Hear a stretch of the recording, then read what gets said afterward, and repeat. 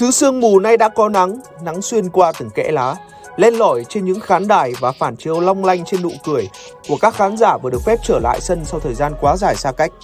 Tôi muốn thực hiện lời hứa để Cavani ra sân thi đấu trước hàng chục nghìn khán giả tại Old Trafford. Đó chắc chắn sẽ là một trải nghiệm rất khác và tôi cam đoan sẽ rất tuyệt vời đối với cậu ấy. Huấn luyện viên Ole Gunnar Solskjaer đã chia sẻ như thế vào tháng trước.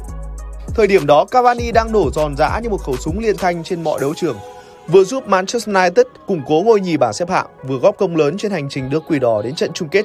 Nhưng thời điểm đó không ai biết, không ai có thể đoán định được tương lai sắp tới Cavani có còn gắn bó với sân Old Trafford nữa hay không.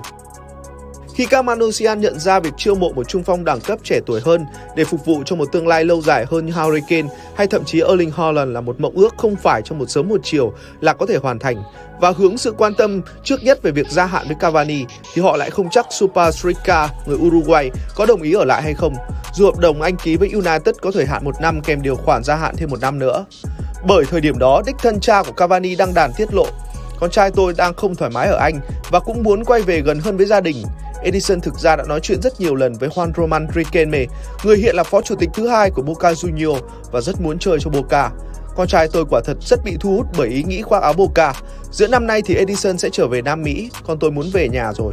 Nó không muốn tiếp tục thi đấu ở Anh nữa. Nam Mỹ với thứ bóng đá hoang dại và cuồng nhiệt giữa một thời tiết ấm áp hơn được xem là cơn hoa mộng của Cavani vào thời điểm đó hơn là sự buồn tẻ và lạnh lẽo của thành phố Manchester nói chung và sân Old Trafford không khán giả nói riêng. Ông Lewis còn chia sẻ, con trai mình không hề hài lòng trước việc bị FA cấm thi đấu 3 trận vào tháng riêng và phạt 100.000 bảng do sử dụng từ Negrito, bị hàm ý là phân biệt chủng tộc trong một bài đăng trên mạng xã hội. Nhưng nay thì Manchester đã có nắng khi sự ủng hộ trực tiếp ấm áp của các khán giả vừa trở lại. Ở trận đấu đầu tiên thi đấu trước 10.000 khán giả trong màu áo quỷ đỏ, Cavani cũng ghi một trong những bàn thắng đẹp nhất kể từ khi cập bến đội bóng giàu truyền thống này. Đó là pha lập công mở tỷ số cho Man United trong trận đấu gặp Fulham. Một thống kê của ESPN trên Instagram chỉ ra, trận đấu ở vòng 37 Premier League đó mới là lần thứ 5 các fan của United được đến xem trực tiếp cầu thủ họ yêu thích bậc nhất là Bruno Fernandes chơi bóng ở Old Trafford. Vậy thì đây, ở chiều ngược lại trong lời hứa của Ole, cũng là lần hiếm hoi mà các Manusian được chứng kiến Cavani trình diễn thứ bóng đá hảo hạng của anh. Và có lẽ họ đã cảm thấy hạnh phúc khi thưởng thức nó. Bởi bàn thắng của Cavani là một siêu phẩm hiếm có khó tìm phút 15 trên sân Old Trafford, nhận đường truyền dài nơi vòng tròn giữa sân trong một pha phản công nhanh.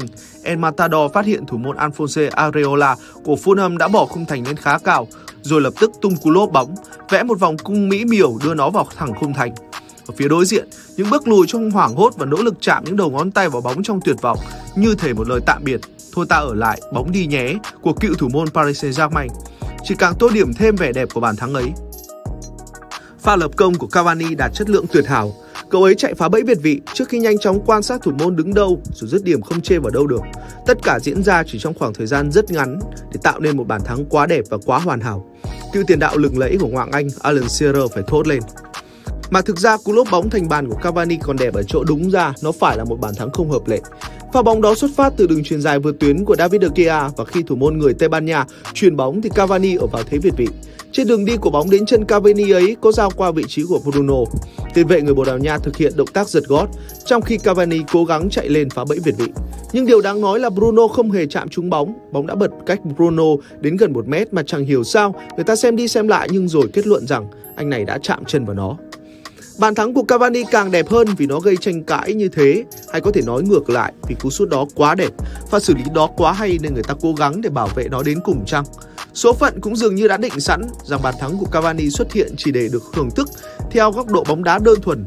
Trận đấu của Man United với Fulham thực chất chẳng có ý nghĩa gì cả bởi Quỷ Đỏ thì đã không thể vô địch và cũng không thể ao khỏi top 4, trong khi Fulham thì đã chắc chắn rớt hạng.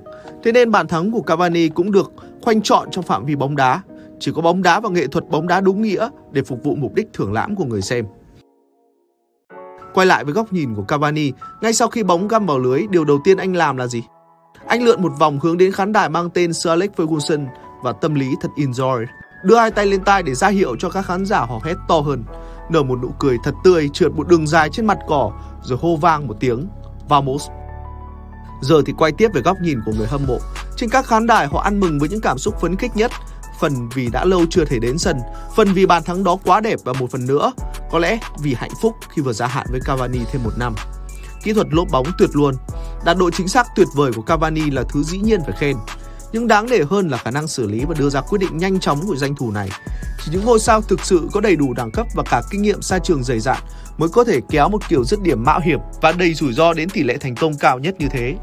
Đáng nói hơn đó là pha lập công gần nhất của Cavani trong chuỗi 9 bàn thắng kèm 3 đường kiến tạo thì sau 10 trận trên mọi đấu trường. Thật ra, chỉ có 3 trong 10 trận vừa nêu là Cavani đã đủ 90 phút và tổng cộng anh cũng chỉ cần 21 pha dứt điểm trong chục trận đấu ấy để có được 9 bàn, tức là hiệu suất chưa đầy 3 cú sút là ghi một bàn thắng, một phong độ quá khủng khiếp. Và với pha lập công vào lưới Fulham, Cavani cũng đã nâng số bàn thắng tại Premier League mùa này lên con số 10 sau 26 trận và tổng số 16 bàn sau 38 trận trên mọi đấu trường.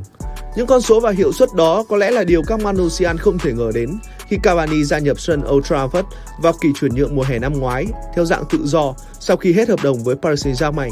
Khi đó thậm chí nhiều người cảm thấy lo ngại khi anh đã bước sang tuổi 34 và châm biếm anh chơi bóng dưỡng sinh tại Pháp trong nhiều năm qua.